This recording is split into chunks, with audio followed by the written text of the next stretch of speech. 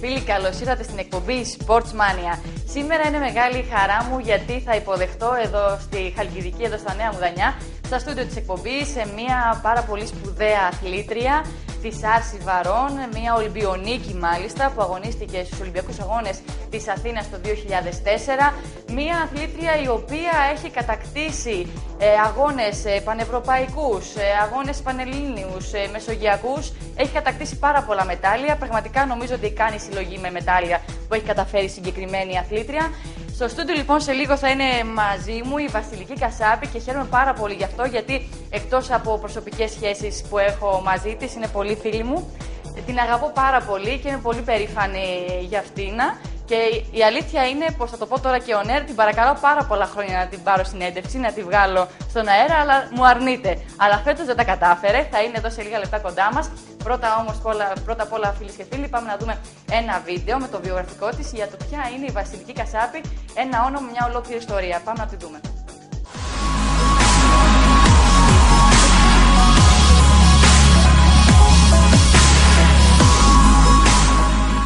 Η Βασιλική Κασάπη γεννήθηκε στις 22 Μαρτίου του 1983 στη Θεσσαλονίκη. Έχει ύψος 1,73 και ανήκει στον Αγία Θέρμης Θεσσαλονίκης.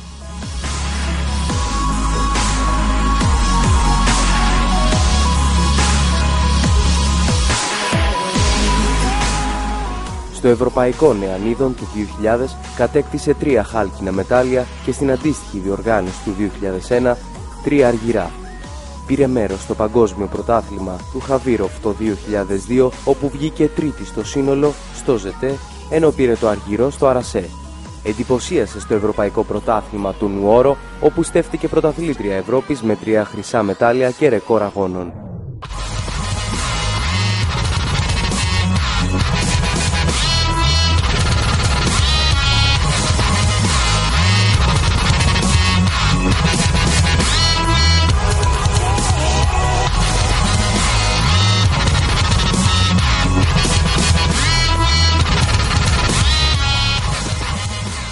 Συνέχισε στο Παγκόσμιο του Μεξικό το 2003 όπου έφερε την δεύτερη θέση. Η Βασιλική Κασάπη έκανε πραγματικότητα το όνειρο του κάθε αθλητή παίρνοντας μέρος στους Ολυμπιακούς Αγώνες της Αθήνας το 2004 όπου έκανε περήφανους εκατομμύρια Έλληνες με την δεύτερη θέση στο Αρασέ και την 8η στο σύνολο.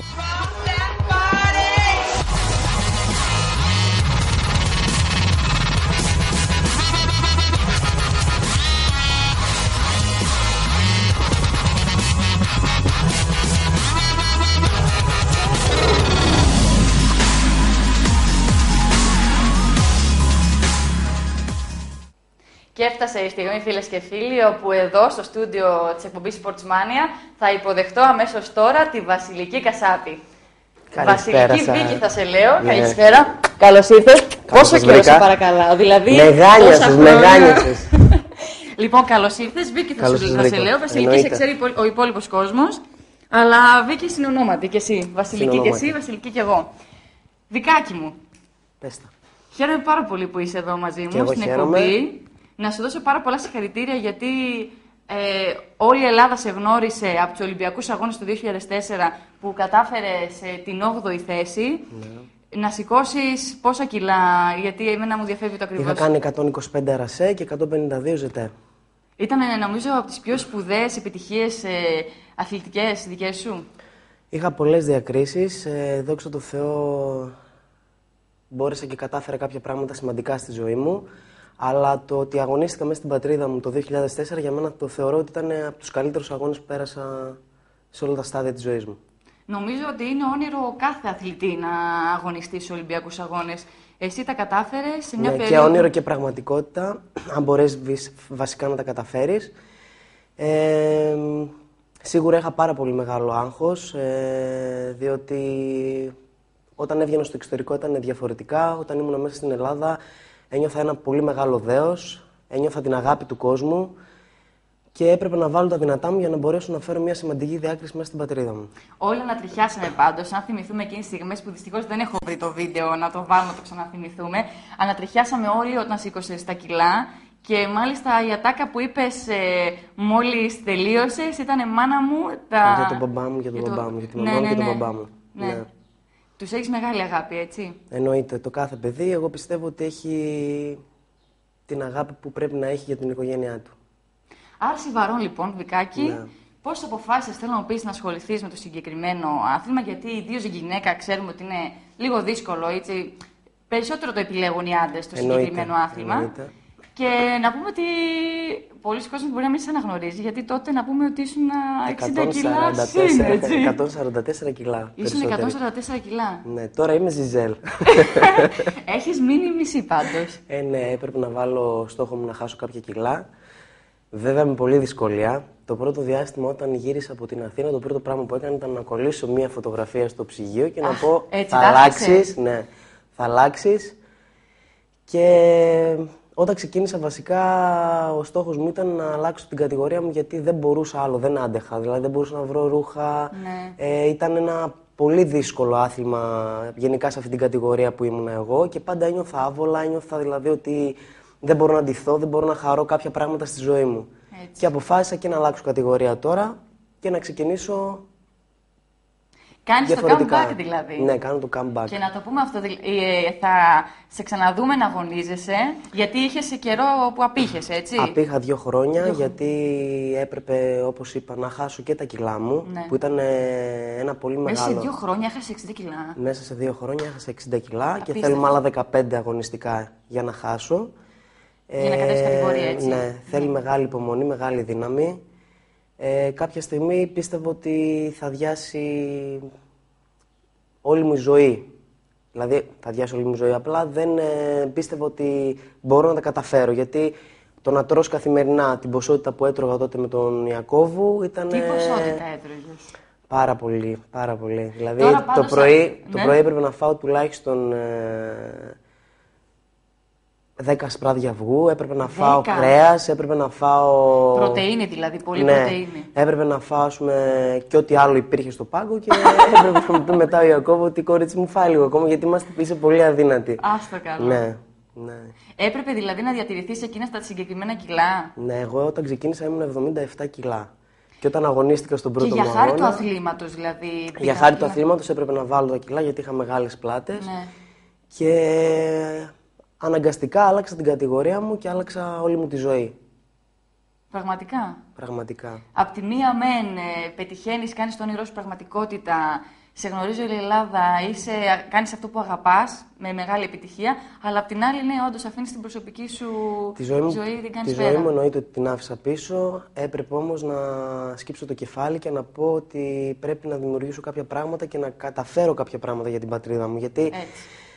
Μπορεί να λένε ας πούμε ότι οι αθλητές και οι αθλήτριες ε, έχουν τα, τα προνόμια να μπαίνουν σε δουλειές και το ένα το άλλο κάτι που κόψανε και Εσύ από τις όλα αυτά τα τυχερές παιδιά, που ναι, έχεις και τα όλα αυτά τα προνόμια. παιδιά που έχουν μείνει δυστυχώς και το λέω δυστυχώς γιατί δίνουν τη ζωή τους καθημερινά χάνοντας την προσωπική τους ζωή ε, χωρίς να τους βοηθήσει κανένας έχουν μόνο έναν προπονητή και τίποτα άλλο Και πλέον εγώ δεν θα υπάρχουν ήθελα. και χορηγοί, έτσι. Δεν υπάρχουν Δεν- χορηγοί, δεν υπάρχουν τίποτα.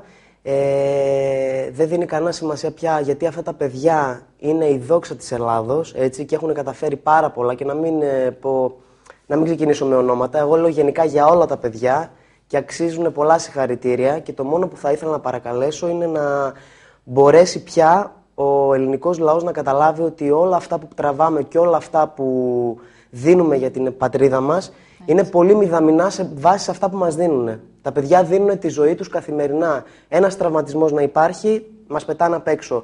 Ε, κάτι να γίνει, κατευθείαν ο αθλητής και η αθλήτρια χάνει τα πάντα. Δεν είναι έτσι. Ε, υποτίθεται ότι το κράτος πρέπει να είναι δίπλα μας, να μας στηρίζουν. Ε, και γι' αυτό και μιλάω εκ μέρους αυτών των παιδιών. Γιατί έχω δει πάρα πολλές αδικίες και με ενοχλεί γιατί αυτά τα παιδιά, σας λέω, δίνουν τη ζωή τους πραγματικά κάθε μέρα και στα ταρτάν και μέσα σε διάφορα άλλα αθλήματα. Και πρέπει ξανά η πολιτεία να τους ξαναδώσει τα προνόμια. Αυτά που δικαιούνται. Έτσι, έτσι, έτσι. Πολύ σωστά μιλάς. Εσύ είχες βοήθεια όταν αγωνιζόσουν ε, τότε επί Ολυμπιάδας; Επί Ολυμπιάδας. Είχες στήριξη είτε της Ομοσπονδίας είτε από χορηγούς, ήταν εύκολα, πιο εύκολα εκείνα τα χρόνια; Κοιτάξτε, τότε τα χρόνια ήταν τελείως ελληνικό θα μου διαφορετικά. μιλάς. Ναι, λοιπόν. λοιπόν, κοίταβε εκεί. Ε, τότε εκείνη τα χρόνια ήταν πολύ διαφορετικά. Εγώ έπεσα στις καλές εποχές που λέμε με τον Πύρο το Δήμα, με τον Βαλέρο το Λεωνίδη, με τον Σαμπάνι, όλα αυτά τα παιδιά, με τη Γιάννα τη Χατζιωάννου, η οποία είναι μια απίστευτα καλή αθλήτρια και πάνω απ' όλα η καλύτερη ψυχή μέσα από την Άρση Βαρών που έχω γνωρίσει εγώ προσωπικά.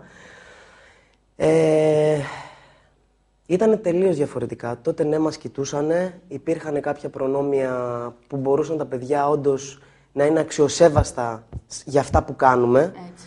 Ε, Τουλάχιστον έβρισκε ανταπόκριση. Έβρισκα, ναι, πολύ μεγάλη ανταπόκριση. Και τώρα δυστυχώς βλέπω ότι τα παιδιά δεν έχουν πια τη δυνατότητα όχι να, να κινηθούν, ούτε τα έξοδα που να, να κάνουν για τους αγώνες. Είναι δηλαδή τραγικά. Είναι τραγικά. Δηλαδή, βλέπω πούμε, αθλητές και αθλήτρες που μου λένε σε καθημερινή βάση ότι Βίκυ πληρώνω τα έξοδά μου για να πάω πούμε, στον αγώνα μου, για να κάνω κάτι στη ζωή μου. Δεν γίνεται έτσι ο πρωταθλητισμός, παιδιά. Πρέπει να το καταλάβει και, ο, και το κράτος, πρέπει να το καταλάβουν και όλοι αυτοί οι άνθρωποι ότι τα παιδιά δεν είναι σκουπίδια. Είναι πάνω απ' όλα οι αθλητές που μας κάνουν περήφανους και τα παιδιά που αφήνουν και προσωπική ζωή και τα πάντα για να δοξάσουν την πατρίδα μας. Έτσι, έτσι. Αυτά είναι οι γίγαντες της Ελλάδος. Όλοι αυτοί. Όπως ήταν η Βούλα Ιπατουλίδου, όπως ήταν ο Πύρος ο Δήμας, όπως ήταν η Γιάννα Χατζιωάννου, η Μιρέλα Μανιάνη. Όλα αυτά τα παιδιά αξίζουν πολλά. Και πρέπει και πρέπει το κράτος να ξαναδώσει τα προνόμια πίσω σε αυτά τα παιδιά. Έτσι ακριβώς. Το ίδιο μας έλεγε την προηγούμενη εβδομάδα και ο Γιάννης Ροσμανίδη που είχαμε εδώ στην εκπομπή, όπου και ο ίδιος ακόμη είναι φίλος σου. Είναι πάρα πολύ καλός μου φίλος, ναι, και ένα πραγματικά απίστευτο παιδί με απίστευτο χαρακτήρα. Ε, το χαμόγελο που σου σκάει και μόνο φτάνει για να καταλάβεις το τι άνθρωπος είναι. Έτσι ακριβώς.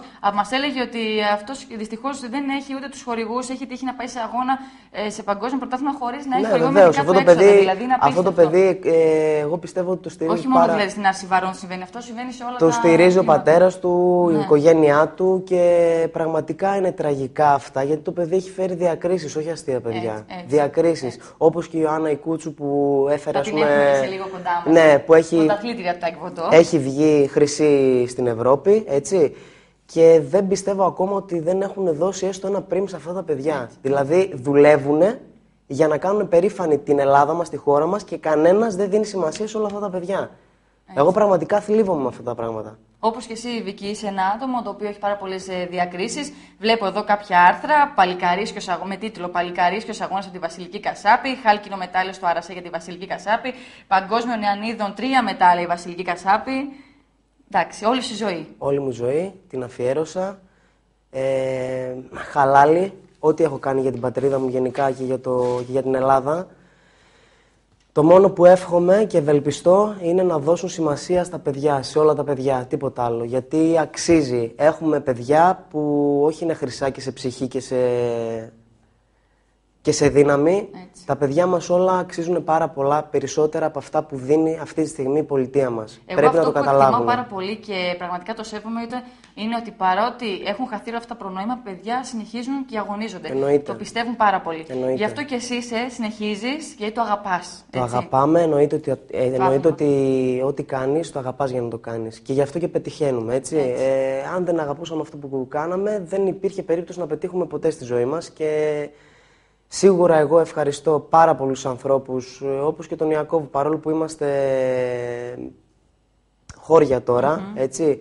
Επί, 10, επί 11 χρόνια ήταν ο προπονητής μου, όπως και ο Γιάννης Σιδηρόπουλος. Η οικογένειά σου, Η οικογένειά μου, ναι, με μεγαλώσανε, με στηρίξανε.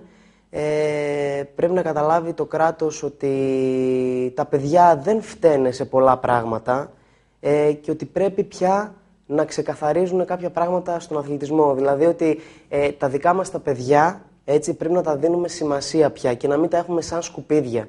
Αυτό να το καταλάβουν όλοι. Γιατί αυτή τη στιγμή έχουμε διακρίσεις, έχουμε παιδιά που πολεμάνε κάθε μέρα και βάζουν τα έξοδα μέσα από την τσέπη τους και δυστυχώς δεν έχουν δει τίποτα. Και θλίβομαι πραγματικά γιατί σου είπα εγώ, OK, okay, μπόρεσα, κατάφερα, έκανα κάποια πράγματα, αλλά Φαντάσου ότι υπάρχουν παιδιά που έχουν καταφέρει πολύ περισσότερα πράγματα από μένα και τους βλέπω ότι δεν τους έχουν δώσει καν σημασία. Και το μέλλον είναι ο αθλητισμός. Εννοείται ότι είναι το μέλλον. Είναι να μην, ε, και ο κόσμος μας ακούει, να μην τρομοκρατείτε με αυτά που λέμε για τα προνόμια. Όπως και να έχει, καλό. Ο αθλητισμός μας κάνει καλό. Μπορεί να μην γίνουν όλοι πρωταθλητές, μπορεί να μην γίνουν Ολυμπιονίκοι σαν και σένα, αλλά το, το, να ασχολείται κάποιος με τον αθλητισμό είναι το πιο σπουδαίο πράγμα. Πολύ ωραίο πράγμα. Εσύ πες μου από μικρή πώς αποφάσισες να ασχοληθείς με την άρση βαρών; Πες μου λίγο Ποιος σου είπε για το συγκεκριμένο άθλημα και αν ήταν αυτό που ονειρευόσουν, ήθελες να Εγώ κάνεις στην Άρση μπαλέτο Βαρών- για παράδειγμα. Εγώ στην Άρση Βαρών, λοιπόν, ε, όταν ξεκίνησα, ξεκίνησα ηλικία; τελείως, τελείως ε, ξαφνικά. ναι. Ε, το, το δικό μου άθλημα ήταν η δισκοβολία. Ξεκίνησα στο Καφτατζόγλιο, ξεκίνησα με, Αλήθεια; το- ναι, με την Αγέθ ε, τότε που ήταν ο Δρόσος και χρειαζόντουσαν κάποια άτομα για να κατέβουν ε, για τους αγώνες στην Άρση Βαρών. Μου, μου έφαγαν τα αυτιά εκεί το διάστημα, κατέβα, κατέβα για να δώσω κάποια, κάποια βαθμολογία, κατέβηκα, βγήκα πρώτη στους αγώνες και από εκεί όταν με γνώρισε ο Ιακώβου μου είπε ότι πρέπει να ασχοληθείς πια επαγγελματικά με αυτό το άθλημα και ξεκίνησα την καριέρα μου. Και τον έβγαλες ασπρό πρόσωπο. Και αυτόν και τον Γιάννη του Σιδηρόπουλου, ο οποίος ήταν ο πρώτος μου προπονητής βέβαια. Και ξεκινάς στη Θεσσαλονίκη κάνοντας προπονήσεις. Ναι, ξεκίνησα με τον Γιάννη του σιδηροπουλου Ε, πολλές ώρες προπονήσεων, ε, αφιέρωσε πάρα πολύ χρόνο από την προσωπική του ζωή και ήταν στήριγμα δικό μου.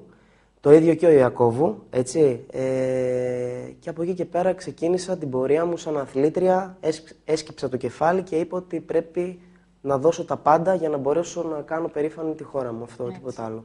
Και από προπονήσει στη Θεσσαλονίκη, πολύ σκληρές, μετά κατεβαίνει στην Αθήνα. Πολύ και είσαι σκληρές. εκεί Δεν μόνιμα. ξέραμε τι θα πει ξεκούραση, δεν ξέραμε τι θα πει προσωπική ζωή. Ατελείωτες οι ώρες προπόνησης. Μάλιστα, όταν πηγαίναμε τα υπερατλαντικά ταξίδια Καναδά, Μεξικό και Πεκίνο που είχαμε πάει, ε, έπρεπε να σηκωνόμαστε μία η ώρα τη νύχτα ή δύο η ώρα τη νύχτα γιατί είχαμε την αλλαγή του jet lag. Αχ, Ο, οπότε αυτό. Τρώγαμε, τι να σου πω, τη ζωή Σκληραγωγία. μας, όχι μόνο σκληραγωγία, δηλαδή δεν πληρώνεται αυτό που κάνουν οι αθλήτρες και οι αθλητές, παιδιά, πιστέψτε μου ότι δεν πληρώνεται. Σηκωνόμασταν ε, μία η ώρα και δύο η ώρα τη νύχτα και τρεις η ώρα ήμασταν στο γυμναστήριο και σηκώναμε βάρη. Κάτι που δεν το κάνει ένας νορμάλ άνθρωπος, ένας φυσιολογικός άνθρωπος. Και όμως εμείς λέγαμε χαλάλι, πρέπει να αγωνιστούμε, είναι η πατρίδα μας, πρέπει να τα δώσουμε όλα. Αλλά δυστυχώς είναι κάποιοι άνθρωποι που δεν μας δίνουν τώρα πια σημασία. Και λυπάμαι. Ειλικρινά λυπάμαι. Δεν θα πτωηθείς όμως. Δεν πτωούμε, Γι' αυτό δεν και πτωούμε. συνεχίζεις. Δεν πτωούμε και συνεχίζω, Και εννοείται ότι θα συνεχίζεις. συνεχίσω. Έχεις να πούμε στην ε, Θεσσαλονίκη, στη Θέρμη, με τριάδι γυμναστήριο με το όνομά σου. Ναι. Ε, εκεί κάνεις προπονήσεις κανονικά, έτσι, εκεί προπονείσαι πλέον τώρα. Εκεί προπονούμε. Ε, Πόσα κιλά τώρα σηκώνεις, σηκώνεις όπως τότε; Έκανα 93-105. Βέβαια, όταν χάνεις πολλά κιλά, Ναι. πέφτει και η μυϊκή μάζα, έτσι. Ε, προς το παρόν ξεκίνησα πολύ καλά. Δεν θέλω να μπω απότομα Ε, βέβαια. Να ξανασηκώσω Στα πολλά τα στα βάρη. πολλά τα βάρη. Πρέπει να κάνω πάρα πολλές επαναλήψεις, πάρα πολλά σετ για να επανέλθει κάπως το σώμα μου. Και επειδή έχω να χάσω άλλα 15 κιλά, τα ρημάδια, Σε έχουν ταλαιπωρήσει, με ε. έχουν ταλαιπωρήσει αφάνταστα. Θέλει πολύ ψυχή, πολύ δύναμη. Κάποιες φορές, οκ, έβγαινα και εκτός αυτού, γιατί πραγματικά ε, τώρα καταλαβαίνω τους ανθρώπους που χάνουν κιλά, το τι τραβάνε και το τι περνάνε. Το να Και χάσει όταν κιλά. έρχεται η ρημάδα η στιγμή που σταματάει η Ναι. ζυγαριά ενώ προσπαθείς, Ναι, εκεί ναι, τι ναι. κάνεις; Το να χάσεις Τη σπάς κιλά. ή δεν τη σπάς. Τη σπάς. Εγώ έχω σπάσει αρκετές, πιστέψτε Αλήθεια. με, ναι. Ε, απλά τώρα καταλαβαίνω όλους αυτούς τους ανθρώπους που έχουν χάσει τόσα κιλά. Ναι. Ευτυχώς είχα την πειθαρχία και μπόρεσα και τα κατάφερα μόνη έξω μου. τρώμε και έξω βγαίνουμε και τρώει σαλάτα. Εννοείται. Με ένα αρνί τα βιαζόμενο Είμαι επάνω. μάρτυρας. Πλάκα κάνω. Λοιπόν, και εντάξει, έπρεπε να χάσω όλα αυτά τα κιλά και πιστεύω τώρα χάνοντας άλλα 15 να φτάσω στην ευλογημένη κατηγορία που θέλω στα 75 Ναι. για να ξεκινήσω να δω τι θα κάνω μέχρι την Ολυμπιάδα. Μακάρι. Λοιπόν, εμείς έχουμε τώρα πλάνο να δείξουμε και τον κόσμο ε, προπόνησης. Έχουμε τραβήξει πλάνα κατά τη διάρκεια της προπόνηση. Εγώ θα ήθελα να ευχαριστήσω ακόμα ένα άτομο που Ναι. με βοήθησε προσωπικά εμένα. Μπορεί σε άλλους δεν ξέρω, τον κύριο Γιάννη Ιωαννίδη. Και πραγματικά όταν του ζήτησα να με βοηθήσει σε κάποιο θέμα, ήταν ο μόνος που άνοιξε την αγκαλιά του και ο μόνος που με δέχτηκε. Και τον ευχαριστώ θερμά γιατί έδειξε κατανόηση και ήταν ο μόνος άνθρωπος που πήρα τουλάχιστον ένα, μια πραγματική απάντηση. Μου είπε πραγματικά αυτά που έπρεπε και με βοήθησε όσο, όσο δεν πήγαινε. Και, τον είναι ευχαριστώ πολύ πάρα πολύ. σημαντικό αυτό που μας λες, γιατί ε, από τα πολιτικά πρόσωπα ε, κυρίως Απέχουνε ο κόσμος πάρα είναι πολύ. απογοητευμένος πάρα πολύ, αλλά εσένα σου άνοιξε την πόρτα ο κ. Μου άνοιξε την Ιωαννίδης και πόρτα σε παρόλο βοήθησε. που δεν με γνώριζε και τον ευχαριστώ πάρα πολύ. Ε, βέβαια δεν θέλω να ονομάσω και τους ανθρώπους που, μου, που δεν με βοηθήσανε καν, γιατί δεν αξίζει ούτε να τους ονομάσω. Αλλά Ναι. Υπήρχαν και τέτοια πράγματα υπήρχαν και στην τέτοια καριέρα σου, πράγματα, ναι, εννοείται, εννοείται. Όλα τα περνάς. Και ο χώρος γενικά του πρωταθλητισμού δεν Αυτό είναι ακριβώς. εύκολος και Εγώ δεν θέλω να είμαι στο αχάριστη, πέταλο. δεν θέλω να είμαι αχάριστη και πραγματικά τον ευχαριστώ μέσα από τα βάθη της καρδιάς μου. Να είναι καλά και να είναι γερός. Λοιπόν, πριν ε, πήγα να πω ότι θα δούμε κάποιο βίντεο με την προπόνησή σου, αλλά θα περάσουμε σε ένα σύντομο διαφημιστικό διάλειμμα γιατί το απαιτεί η κατάσταση Βεβαίως. και θα μείνεις μαζί μας, έτσι; Ε, θα το προσπαθήσω. Θα μείνεις, θα μείνεις λίγο ακόμα μαζί μας. Πάμε σε ένα σύντομο διάλειμμα και θα επιστρέψουμε σε λίγα λεπτά.